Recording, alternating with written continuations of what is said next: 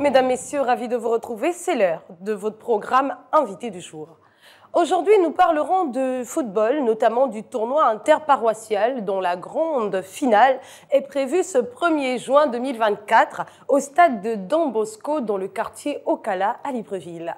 Et pour en parler, nous recevons sur le plateau de l'invité du jour Ulrich Stéphane Ogula, le président responsable du comité d'organisation du tournoi interparoissial. Bienvenue sur ce plateau. Merci madame. Bonjour. Cet événement est organisé par la pastorale des jeunes de l'archidiocèse de Libreville. C'est bien cela? En partenariat avec l'ONG Jouvence. Oui. Comment est née l'idée de cette compétition? Merci de me recevoir dans votre plateau. Cette, idée, est née d'un constat, euh, celui selon lequel la jeunesse était en proie à l'oisiveté.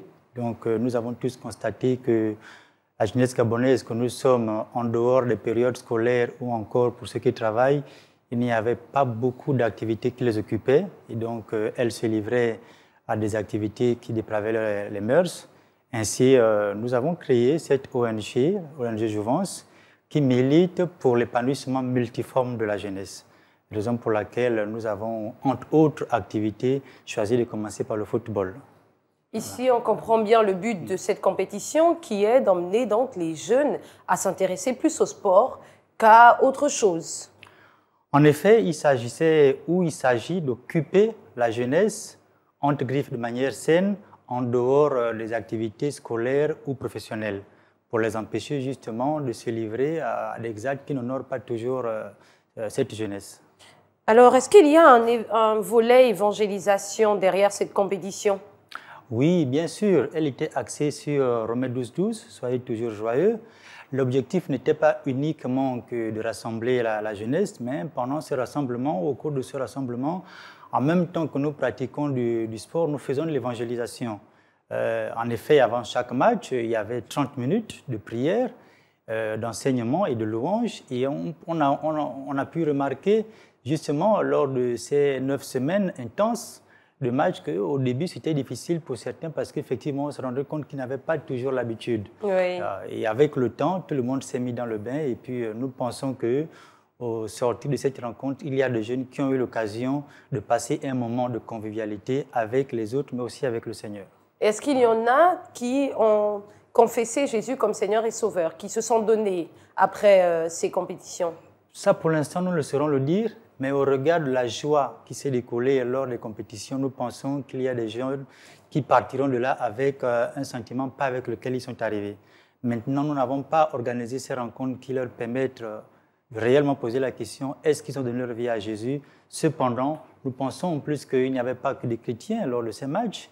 Hein, nous avons pu remarquer quelques frères non chrétiens ou non catholiques, ou par exemple les musulmans, et nous pensons que euh, leur, leur ressentiment est autre après le tournoi. Rien que le moment de louange qu'ils ont passé ensemble, c'était certes une ambiance pour certains parce que pour beaucoup, ce n'était pas forcément des temps de prière, mais chanter, danser avec les autres, oui, nous pouvons certifier qu'au lendemain de cette rencontre, s'ils n'ont pas totalement donné leur vie à, à Jésus, mais c'est un pas. Et avec la grâce de Dieu, nous pensons que nous allons continuer ainsi. Donc cela veut dire que ce ne sont pas seulement les chrétiens catholiques qui sont conviés à cet événement, mais tout le monde. Oui, en effet, ce n'est pas, ce n'est pas uniquement réservé aux catholiques, pour ne pas dire aux chrétiens, sauf que nous avons choisi de commencer par, euh, par la pastorale des jeunes parce que c'est une organisation, c'est déjà une institution organisée, l'Église catholique, mais l'objectif est de promouvoir l'épanouissement envers toute la jeunesse gabonaise, tout bord confondu.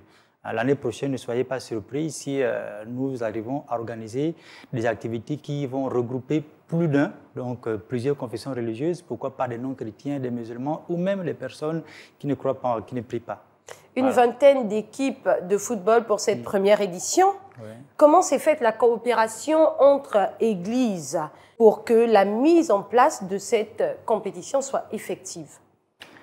Alors, lorsque nous avons eu euh, l'idée, nous, sommes, nous nous sommes rapprochés du responsable de l'Église catholique à Libreville, Monseigneur euh, Jean-Patrick Ibaba, à qui nous avons fait l'exposé, qui euh, nous a orientés, après l'avoir accepté, nous a orientés vers le monnier de la pastorale des jeunes, l'abbé Michael, qui est le curé de Saint-Pierre. Donc, nous nous sommes rendus et nous avons présenté le projet. L'abbé Michael, euh, donc le moyen de la pastorale des jeunes, a regroupé son équipe et après étude et réflexion, ils l'ont adopté.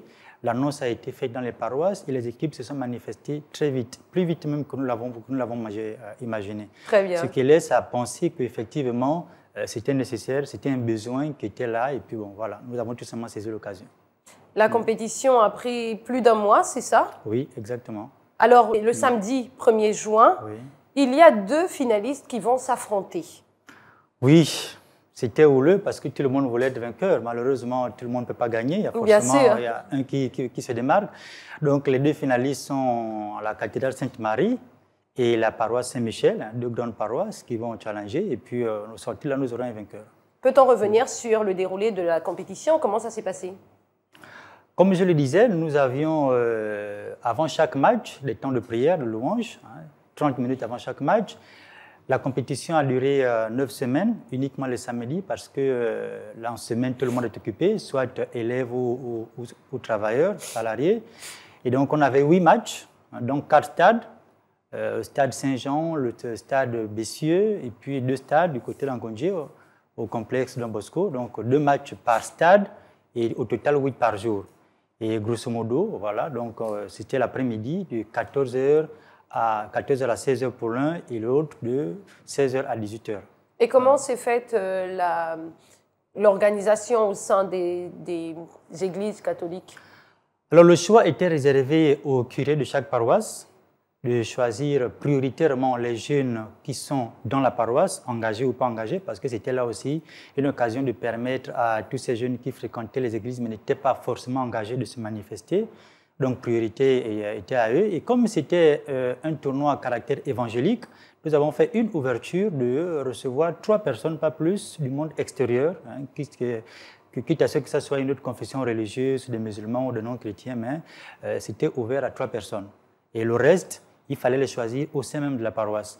Donc nous l'avons vérifié à travers les listes qui nous ont été euh, signées par par les équipes, il fallait que cette liste-là cette liste soit émargée du responsable par la paroisse, donc du curé. Et cela a été pour nous le, moyen d'attester qu'effectivement, le curé était garant de, la liste qui nous avait été euh, confiée pour le tournoi. Et quelle est la suite pour ces participants? Et aussi revenir sur les récompenses Oui, naturellement, organiser euh, un tournoi amène avoir une récompense. Nous, nous y avons pensé, il y aura une petite récompense que nous ne donnerons pas forcément tout de suite pour laisser la surprise au futur vainqueur. Mais il faut, il faut quand même préciser que l'objectif n'était pas d'avoir un vainqueur et le récompenser par la suite. Mais c'était de rassembler la, jeunesse gabonaise. Nous avons certes commencé par le, le pan catholique, mais l'objectif était de rassembler cette jeunesse gabonaise et l'occuper, donc partager des moments de convivialité avec euh, les autres jeunes qu'ils ne connaissaient pas forcément et donc, euh, au lendemain de ce tournoi, nous pensons qu'il y a des jeunes qui ont eu l'occasion de se connaître les uns les autres, parce que ce n'était pas le cas, forcément, pour tout le monde. Nous pensons que nous avons créé de la joie, nous avons créé un événement, suscité un engouement qui, par la grâce de Dieu, avec une meilleure organisation, une meilleure implication de tous, va peut-être grandir davantage et pourquoi pas prendre un caractère national dans les années à venir. Et dites-nous, comment s'est faite la sélection des équipes? Mhm. Est-ce que euh, vous êtes parti sur un jeune qui appartient à l'Église catholique et qui touche un peu de temps en temps le ballon ou bien vous êtes parti sur quelqu'un qui connaît déjà le football Ça a été laissé, nous avons laissé ouvert. Hein. chaque responsable de la paroisse euh, avait la latitude de choisir euh, les jeunes qui devaient participer à, l'équipe. Mais nous avons quand même apporté une précision sur le fait que c'est un acte physique. Donc il fallait quand même prendre des personnes qui avaient l'habitude de jouer, même s'ils ne s'y connaissaient pas, et même s'ils n'avaient jamais chuté du ballon, mais quand même faire autre chose, voilà, pour que euh, l'activité ne soit pas, que ça ne se transforme pas du jour au lendemain euh, à autre chose parce que bon voilà, c'est du physique.